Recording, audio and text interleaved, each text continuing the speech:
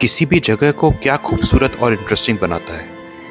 भूगोल के हिसाब से देखें तो उसकी टोपोग्राफी या हिंदी में जिसे बोलते हैं तल रूप और उस टोपोग्राफी में कॉन्ट्रास्टिंग रंग, और दूसरा वहाँ का मौसम और इतिहास, जिसके सूचक होते हैं प्राचीन मंदिर और इमारतें। तो एक ऐसी जगह, जहाँ साफ़ नीले आसमान के नीचे खुले चौड़े घास के मैदान हो।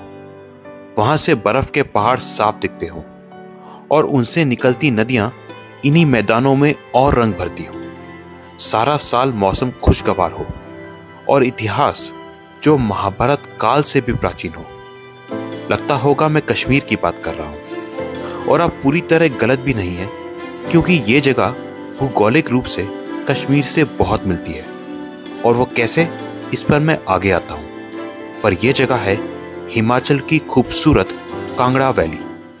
ब्यास नदी मनाली से होती हुई एंड कुल्लू वैली कार्व करते हुए Mandi and then Kangra valley में पहुँचती है। तो मनाली को देखने के बाद काफ़ी लॉजिकल लगा टू एक्सप्लोर कांगड़ा वैली। अब जैसा मैंने कहा था कि कांगड़ा एंड कश्मीर वैलीज का स्ट्रक्चर फंडामेंटली सिमिलर है। वहीं सेम रिवर सिस्टम का पार्ट होने के बावजूद कांगड़ा और मनाली वैलीज का स्ट्रक्चर काफ़ी अलग है, जो अभी थोड़ी देर में डिस्कस करते हैं। कांगड़ा वैली में एक से बढ़कर एक खूबसूरत टाउन्स हैं, जिनको रोड रेल और एयर तीनों मोड से पहुँचा जा सकता है। एज यहाँ पर खूबसूरत कांगड़ा का एयरपोर्ट तो है ही, और साथ ही है खूबसूरत कांगड़ा रेलवे जो पठानकोट से कांगड़ा वैली के जोगिंदर नगर तक जाती है। पर हम निकले रोड से। अब कांगड़ा को तीन हाईवेज कनेक्ट करते हैं। एक तो नेशनल हाईवे 503 एंड अगर दिल्ली या चंडीगढ़ साइड से आ रहे हैं तो सबसे ideal route.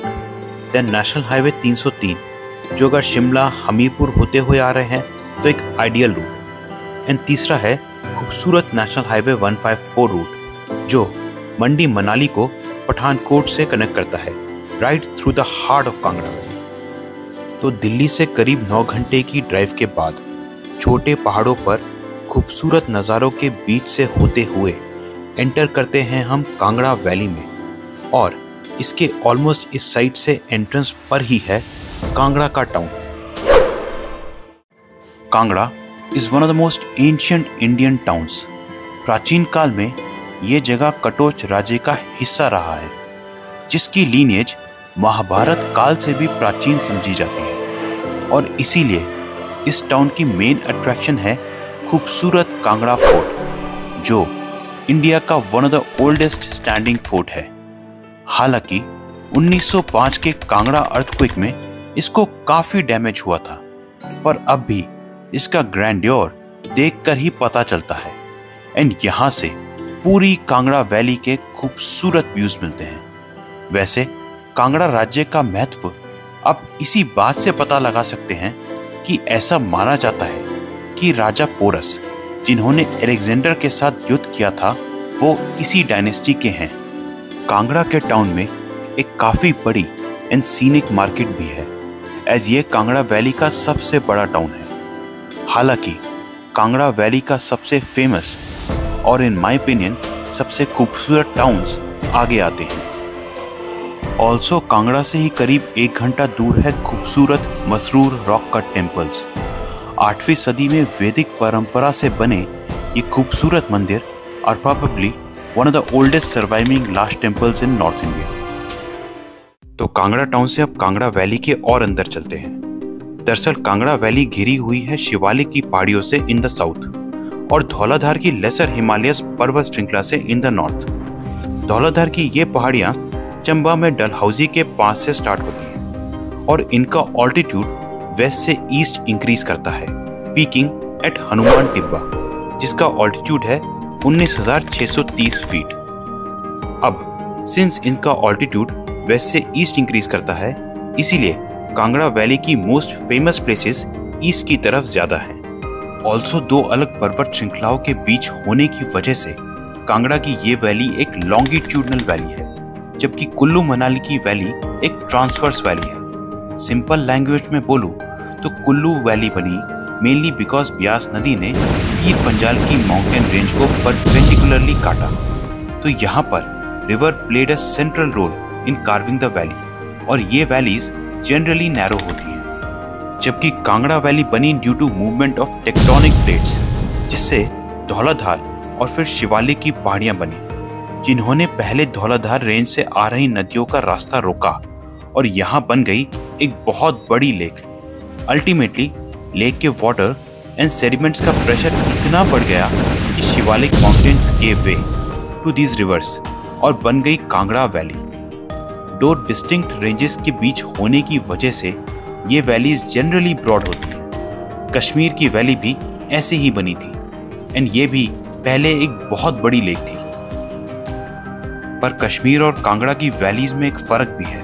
वो ये है कि कश्मीर की वैली पड़ती है पीर पंजाल की लेसर हिमालयस और जंस्कार की ट्रांस हिमालयस पर्वत श्रृंखलाओं के बीच, जबकि कांगड़ा की वैली पड़ती है शिवालिक्स और धौलाधार की लेसर हिमालयस के बीच।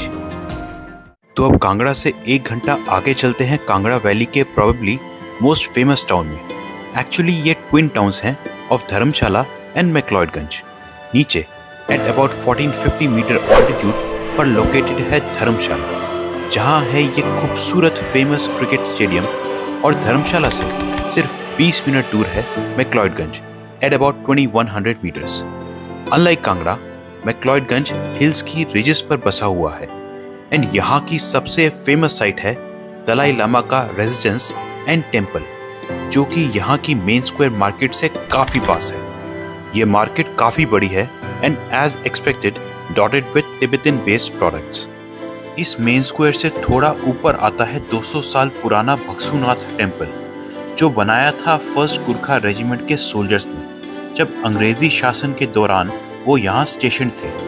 इस मंदिर को दोबारा बनाया गया after it got damaged in 1905 Kangra earthquake Bhagsunath मंदिर के एक तरफ़ थोड़ा आगे ट्रैक करके आता है भक्सु वाटरफॉल्स और दूसरी तरफ़ खूबसूरत धर्मकोट का टाउन दोनों से करीब ढाई से तीन घंटे के ट्रैक के बाद आता है खूबसूरत ट्यून जहाँ से साफ़ दिखती है धौलाधार की snow line McLeodganj main square के दूसरी तरफ़ पहले आती है खूबसूरत सेंट जॉन चर्च, जो करीब 170 साल पुरानी है and burial site of British governor general Lord Elgin जो इस जगह से इतने इम्प्रेस थे कि he wanted to make it the summer capital of India पर as fate would have it he died in 1863 और शिमला बनी इंडिया की summer capital in 1864 1905 Kangra earthquake के मैसिव डैमेज के बाद this place gradually reduced in importance for the British पर 1959 में दलाई लामा के आने के बाद it regain its past glory यहाँ से फिर थोड़ा आगे आती है मैक्लॉयडगंज की डल लेक एंड इसके साथ एक शिव मंदिर। और इसके भी आगे आता है नड्डी व्यू पॉइंट कांगड़ा से करीब एक घंटा दूर है प्रॉबेबली कांगड़ा वैली का सबसे खूबसूरत town Palampur.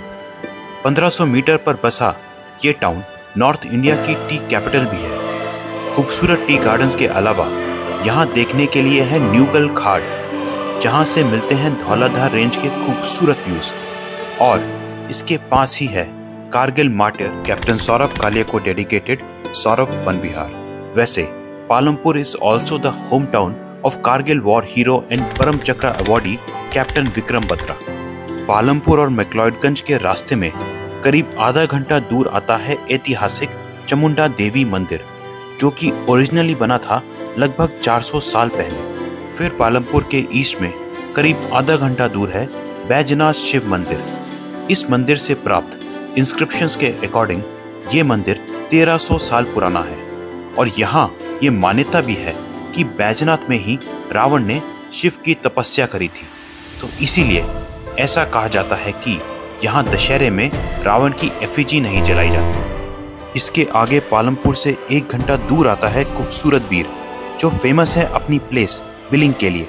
For India's most famous paragliding site यहाँ से थोड़ा ही आगे पड़ता है कांगड़ा रेलवे का आखिरी स्टेशन एट जोगिंदर नगर, और साथ ही है हरा बाग का टाउन जो फ़ेमस है अपने मेस्मराइजिंग व्यूज़ के लिए। इसके अलावा, कांगड़ा वैली के साउथ में टूवर्ड्स शिवालिक्स आता है कांगड़ा से डेढ़ घंटा दूर पोंग डैम की ब्यूटीफुल साइट एंड लेक जहाँ है ये समर्ज टेम्पल्स और इसके पास ही है हरिपुर फोर्ट देन यहाँ से 45 मिनट दूर है परागपुर का 300 साल पुराना हेरिटेज विलेज ट्रियूंड के अलावा, यहाँ और पॉपुलर ट्रैक्स हैं इंदिराहर पास और खूबसूरत करकरी लेक कांगड़ा वैली से आप नेशनल हाईवे 154 लेकर वेस्ट में टुवर्ड्स डलहौजी या ईस्ट में टुवर्ड्स मनाली के खूबसूरत हिल स्टेशन भी जा सकते हैं।